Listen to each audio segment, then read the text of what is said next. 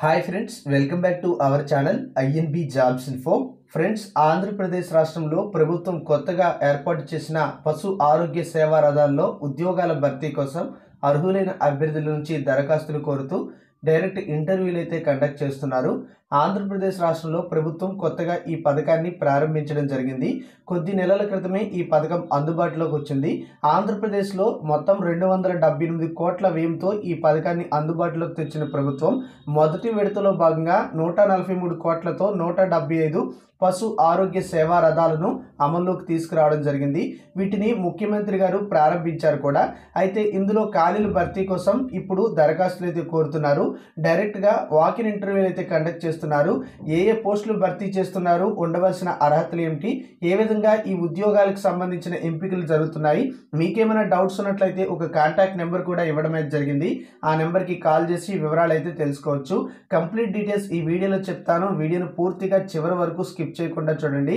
ఎవరికైనా ఈ వీడియో ఉపయోగపడుతుందంటే వాళ్ళకి షేర్ చేయండి. మీరు మన ఛానల్ని ఇంతవరకు సబ్స్క్రైబ్ చేసుకోకపోతే ఛానల్ని సబ్స్క్రైబ్ చేసుకుని పక్కనే వచ్చే బెల్ ఐకాన్ని యాక్టివేట్ చేసుకోండి. ఈ వీడియో యూస్ఫుల్ అనిపిస్తుంది అనిపిస్తే లైక్ చేసి షేర్ చేసి సపోర్ట్ అయితే చేయండి. ఫ్రెండ్స్ ఆంధ్రప్రదేశ్ ప్రభుత్వం మొదటి విడతలో భాగంగా నూట డెబ్బై ఐదు పశు ఆరోగ్య సేవా రథాలను అందుబాటులోకి అయితే తీసుకొచ్చింది. రెండో విడతలో నూట అరవై ఐదు పశు ఆరోగ్య సేవా రథాలను అందుబాటులోకి తీసుకొస్తుంది. టోటల్గా చూసుకుంటే మూడు వందల నలభై రాష్ట్ర వ్యాప్తంగా ఈ యొక్క సేవా రథాలు అయితే అందుబాటులోకి వస్తాయి. నూట ఎనిమిది వాహనాలు ఏ విధంగా అయితే ప్రస్తుతం పనిచేస్తున్నాయో అదేవిధంగా పశువులకు సంబంధించి ఈ వాహనాలు అయితే పనిచేయడం జరుగుతుంది. ప్రస్తుతం చూసుకుంటే ఇక్కడ మీరు చూడొచ్చు పశు ఆరోగ్య సేవా రథాల్లో పోస్టుల భర్తీ కోసం అర్హులైన అభ్యర్థుల కోసం దరఖాస్తులు అయితే కోరుతున్నారు. ఆరు జిల్లాల్లో నూట నలభై నాలుగు మంది సిబ్బంది నియామకానికి ప్రస్తుతం రిక్రూట్మెంట్ అయితే జరుగుతుంది.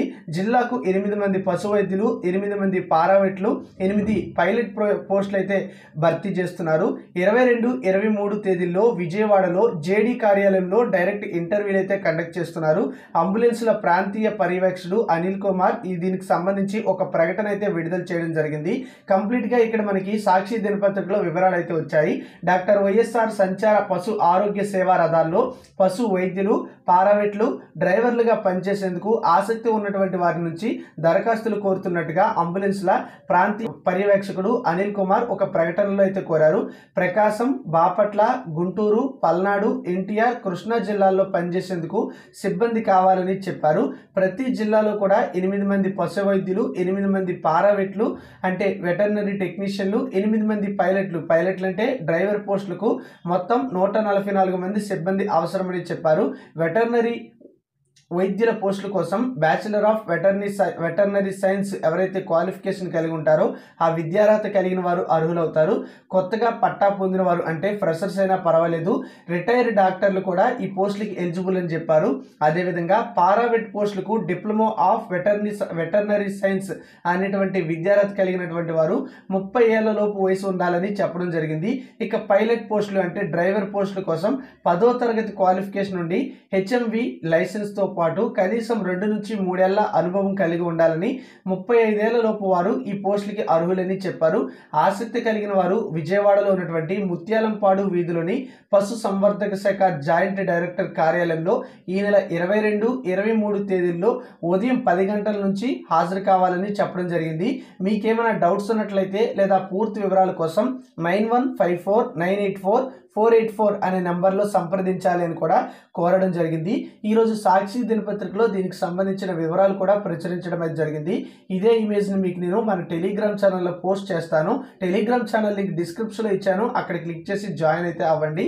సో ఈ విధంగా మనకి మొత్తం నూట నలభై నాలుగు మంది సిబ్బంది నియామకానికి చర్యలు అయితే జరుగుతున్నాయి. ఇప్పుడు నేను చెప్పిన ఆరు జిల్లాల్లో ఈ యొక్క ఖాళీలు అయితే భర్తీ భర్తీ అయితే చేస్తున్నారు. ఇంకా ఏదైనా జిల్లాల్లో ఇలాంటి నోటిఫికేషన్స్ ఉంటే ఛానల్ అయితే చెప్తాను. స్టేట్ లెవెల్ రిక్రూట్మెంట్ అయితే ఇది ప్రస్తుతానికి. Thank you for watching